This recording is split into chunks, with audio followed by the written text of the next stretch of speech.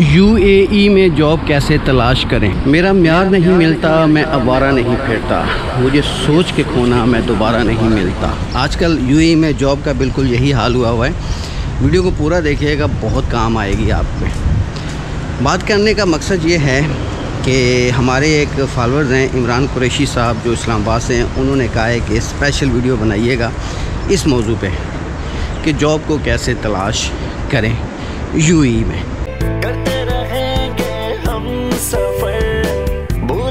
कब से अपना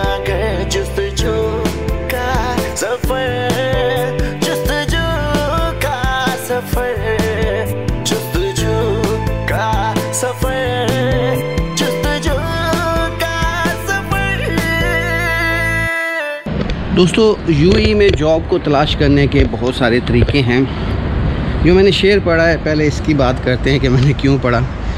आप यूएई में आते हैं, बहुत सारे लोगों को फ़र्स्ट ट्राई में या कहीं ना कहीं कुछ रीज़नेबल या छोटी जॉब की ऑप्शन मिलती है, जिसमें जॉब भी होता है वीज़ा भी देते हैं, लेकिन वो इसलिए रिजेक्ट कर देते हैं कि मेरे पास अभी बड़ा टाइम है, दो माह का वीज़ा है, नहीं जी, नहीं, मैं इससे अच्छी तो तो अगर आप वो जॉब मिस कर देते हैं तो यकीन जाने कि मैंने यहाँ पे अपने सामने हज़ारों लोगों को वापस जाते हुए देखा और अफसोस करते हुए देखे, काश मैं जॉब अवेल कर लेता।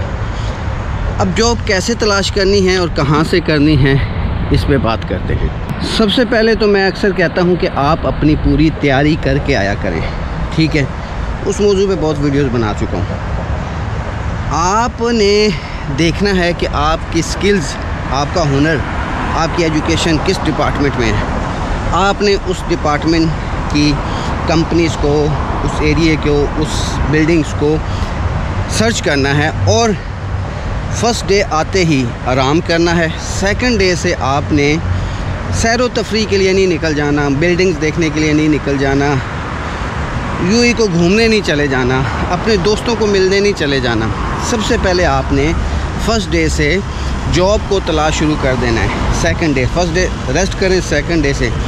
अब आपने यहाँ पर ज़्यादा से ज़्यादा पैदल चलना है। तो लिहाजा उन इलाकों को सर्च करें जहाँ पे पैदल कम चला जा सके और जॉब तक रसाई हासिल कर सकें। जैसे कि मीडिया सेंटर है और इंडस्ट्रीज़ एरिया हैं यूएई के, शारजा के भी हैं, दुबई के भी हैं, अजमान के भी हैं, अबू जैबी अलैन हर शहर में इंडस्ट्री एरिया हैं।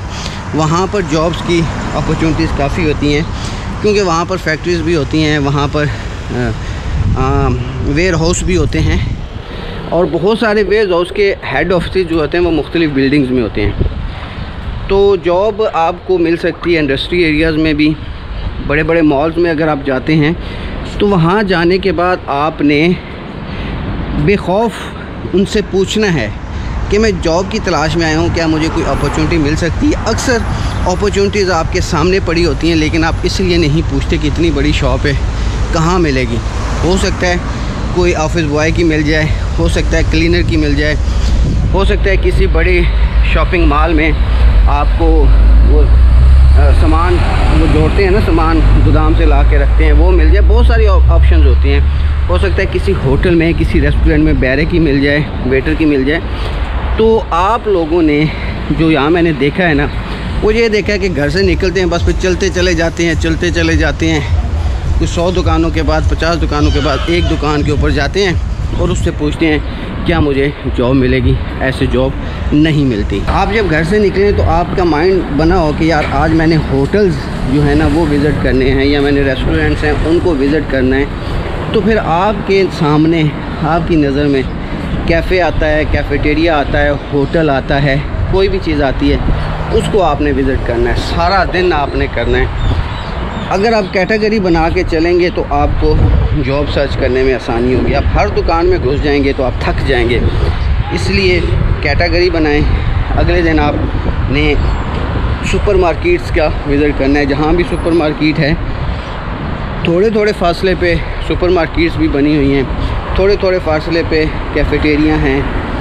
और यानी कि हर टॉपिक की, हर चीज़ की दुकान थोड़े थोड़े फासले पे तीसरे दिन आपने कार वाश का सोचना है जी, मैं कार वाश की जॉब कर लूँगा तो उसको विज़िट करना है।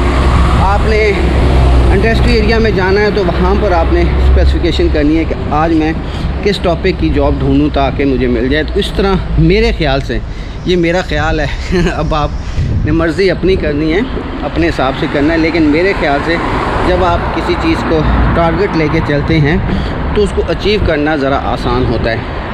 यहाँ पे मैंने देखा है कि बहुत सारे जो दोस्त सबाब आते हैं अपने होम कंट्री से, पहले 10-15 दिन बड़े पावरफुल होते हैं, ये जहन में रखना है।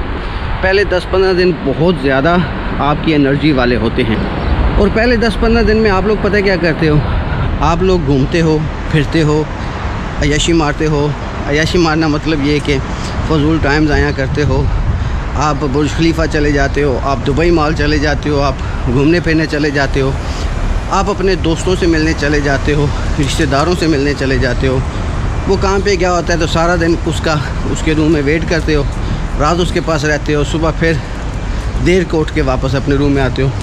तो इस तरह करके आप स्टार्ट के जो 10-15 दिन एनर्जी और पैसे का टाइम होता है, जो आपके पास होता है, वो आप ज़ाया कर देते हो। उसके बाद फिर आप, आपकी जो होती है कॉन्फिडेंस लेवल वो डाउन होना शुरू हो जाता है। और किसी भी पॉइंट पे जब आपका कॉन्फिडेंस लेवल नीचे आता है तो आप कुछ भी नहीं कर सकते। भले वो कोई भी टॉपिक हो वो जॉब सर्च हो वो गेम हो वो एजुकेशन हो तो लिहाजा स्टार्ट के पंद्रह बीस दिन महीना आपने टका के लगाने हैं जॉब ढूंढना है जॉब को करना है और उसके बाद फिर आप दो साल इधर ही है ना जो मर्ज़ी करें। अब यहाँ पे एक और चीज़ होती है कि कुछ लोग कुछ कंपनीज़ ऐसे कहते हैं जी कि आप हमारे पास आ, कुछ दिन के लिए, कुछ टाइम के लिए पहले आएँ, काम करें देखेंगे हम आपको आपको काम आता ही नहीं आता।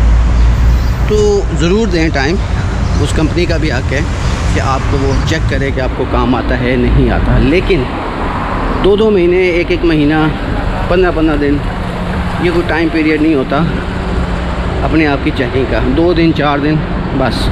अगर इस दौरान वो कहें, ठीक है, ठीक नहीं तो छोड़ के कोई और देखें। वरना आपके पास ऑप्शन नहीं होती। अब तो और ज़्यादा सख्ती हो गई है और वीज़ा भी एक्सटेंड नहीं होता। अगर हो जाए तो बहुत पैसे लगते हैं। अगर आप ओवर स्टे हो जाते हैं तो फिर अब आपको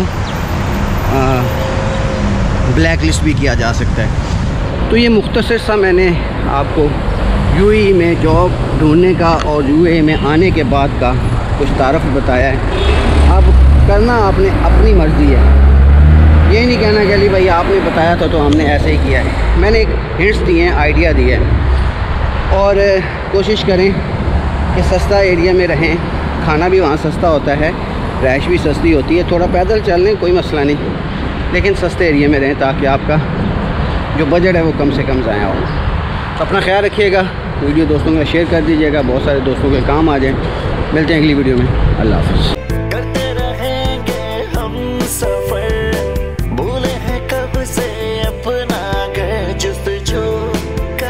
se fue.